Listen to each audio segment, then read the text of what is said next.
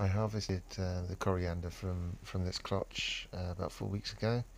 Uh, at the time it had regrown, it has. It needed a bit of watering under the warmth of that cloche. Well, uh, very tasty coriander. That um, garlic there, those garlics there, we're going to uh, well harvest soon.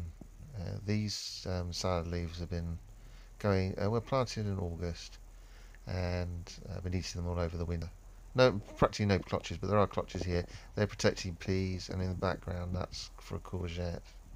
There are some perennials here. This shows with a perennial sea beet, it will, it will every year it will shoot up. Just cut it back, and it will start fresh leaves like that.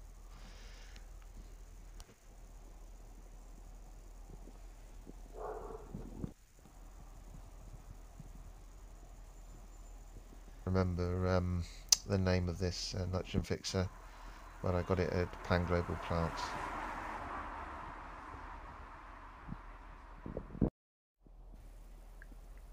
As you can see, there's um, these peas here have been under these bell cloches, and uh, got three types. We've got go sweet golden sweet, uh, Rosakrone, which has got a salmon pink flower, and your good old Kelvedon Wonder.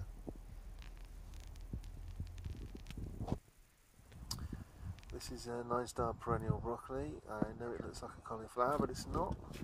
It's uh, it's a perennial broccoli, which means it goes on from year to year, probably about five years old. But I keep taking cuttings and starting new ones. Um, this is uh, it looks like a cauliflower curd, but it, it isn't. Has side shoots. We've got some appearing here else, else, elsewhere. So, um, which makes it a broccoli. Uh, anyway, uh, I think probably another week, and then I'll um, I'll start picking. Uh, these are um, uh, cardoons. They were given to me by uh, an Italian uh, friend of mine. He's been growing it for years. They uh, they eat this um, quite a lot in Italy.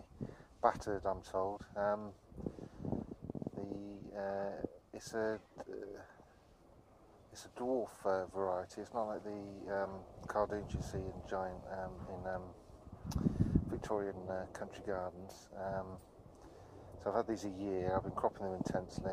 as you can, you can see, the uh, you take the take the leaves, strip them down, and if you're going to um, batter them, you boil them for a bit to get rid of the bitterness. There is a certain bitterness, uh, I do think slightly differently. Uh, this is um, a cardoon I've had for about five years. Uh, I basically um, have it as an ornamental, but what I'm going to do is, um, is cut because the leaves are big. I'll cut this one and show you how to uh, prepare it for, um, for eating. Uh, excuse the weeds, uh, this is a, a, shady corner I don't really ever go into, so um, anyway, I'll crack on with that. This is the leek we're going to take. Um, I'll try not to sting myself on the stingers. Bear with me. We'll just cut it down, down near the base. The thicker bit is what you want really.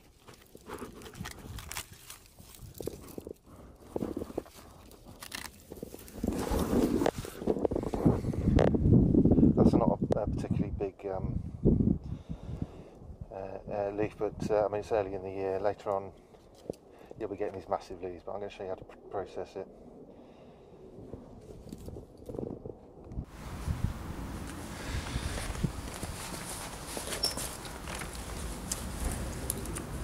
Uh, this is um, this is a cardoon. It's hardly, hardly worth eating. Later on the, in the year, you'll have uh, bigger leaves. I'll show you just for illustration purposes.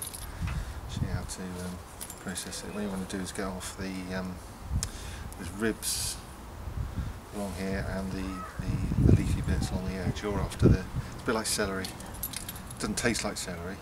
It's got the chunkiness of celery. Good in soups like celery. It is slightly bitter. But um, yeah, no, just run your knife along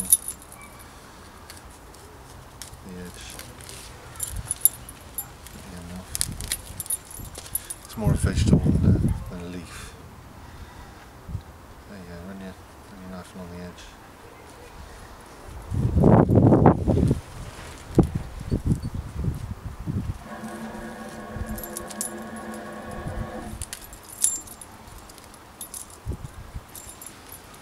Something like that. Obviously you want one twice this size. And then you've got these little little strings, like just like celery. Except celery you wouldn't take it off, but the Italians they take off the off the strings. So just run your knife, then pull the string along. It's a bit like doing a runner, the old-fashioned runner bean. But make sure you try and keep the body of um, the vegetable for eating. Just try and get, the, get as much off as you can.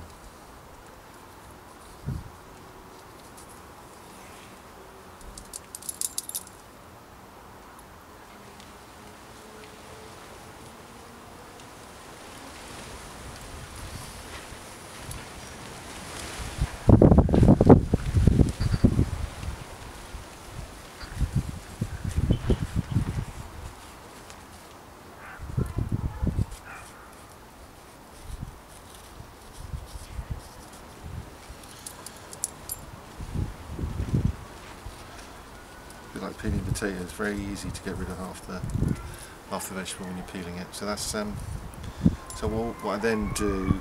Um, it's not what the Italians do, what I what I do is then cut it into into strips and then bung them in stews and stuff, sort of like uh, like you would with a carrot, you know, that sort that sort of that sort of size, and a nice little uh, nice texture, yeah, yeah, good little vegetable, and it's perennial, keeps going uh, in your garden forever.